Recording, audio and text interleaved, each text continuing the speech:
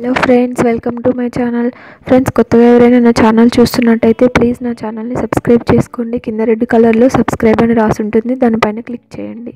ఈరోజు వీడియోలో మనం తెలంగాణ స్పెషల్ పచ్చి పులుసు ఎలా తయారు చేయాలో చూద్దాం.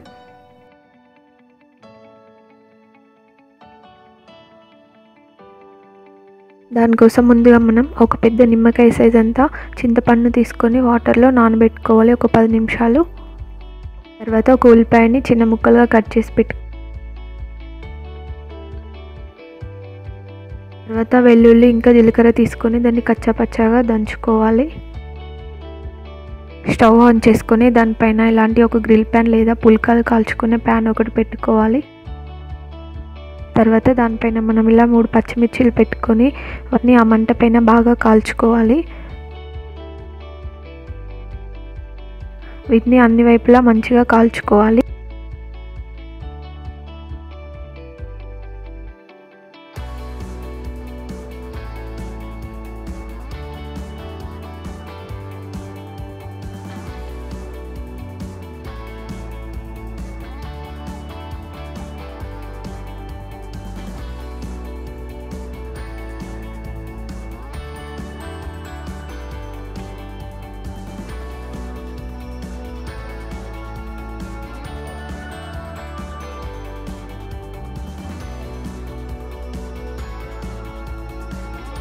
ఇలా వీటిని అటు ఇటు తింపుతూ అన్ని వైపులా మంచిగా కాలేలాగా కాల్చుకోవాలి.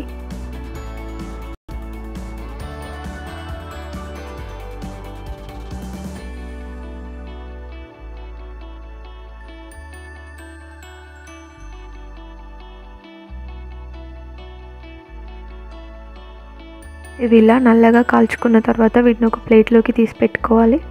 ఇలా వీటిని ఒక ప్లేట్లోకి తీసి పెట్టుకున్న తర్వాత వీటిపైన బాగా నల్లగా ఉన్న ఒక పొరని మొత్తం ఇలా పీల్ ఆఫ్ చేసుకొని పెట్టుకోవాలి. తర్వాత మనం ముందుగా నానబెట్టుకున్న చింతపండు తీసుకొని ఇందులోంచి ఇలా చింతపండుని మొత్తం పిసుకొని వాటర్ని సపరేట్ చేసుకొని పెట్టుకోవాలి. ఇలా మనం ఇందులో చింతపండు ఎక్స్ట్రాక్ట్ మొత్తం తీసేసిన తర్వాత మనం ముందుగా కాల్చి పెట్టుకున్న పచ్చిమిర్చిలను ఇందులో వేసి అవి కూడా బాగా స్క్వీజ్ చేసుకోవాలి.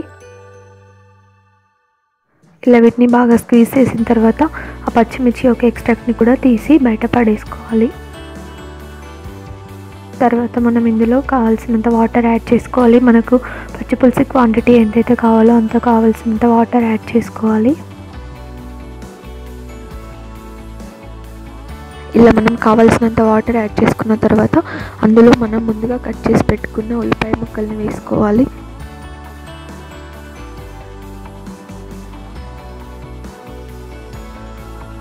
ఉల్లిపాయ ముక్కలు వేసిన తర్వాత మనం ముందుగా దంచి పెట్టుకున్న వెల్లుల్లి ఇంకా జీలకర్రని అందులో వేసుకొని కలుపుకోవాలి. ఇందులో మనం రుచికి సరిపడినంత ఉప్పు వేసుకోవాలి. మన చింతపండు పులుపుని బట్టి మనం ఉప్పు యాడ్ చేసుకోవాలి.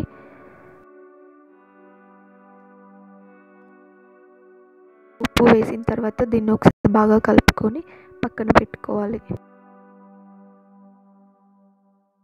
తర్వాత స్టవ్ ఆన్ చేసుకొని ఒక గిన్నె పెట్టుకొని అందులో కొంచెం ఆయిల్ యాడ్ చేసుకోవాలి. ఇలా ఇందులో మనం పోపుకి కావాల్సినంత ఆయిల్ యాడ్ చేసుకోవాలి. ఇలా ఆయిల్ యాడ్ చేసుకొని దాన్ని వేడి చేసుకోవాలి. ఆయిల్ హీట్ అయిన తర్వాత అందులో మనం ఆవాలు ఇంకా జీలకర్ర యాడ్ చేసుకోవాలి.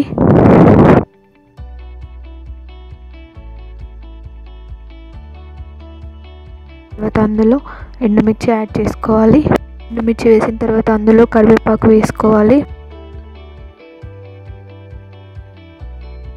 ఇలా కరివేపాకు కొంచెం చిట్టుపట్లాడుతున్నప్పుడు అందులో కొంచెం పసుపు వేసుకొని కలుపుకోవాలి. పసుపు వేసిన తర్వాత దాన్ని అంతా ఒకసారి బాగా కలుపుకోవాలి.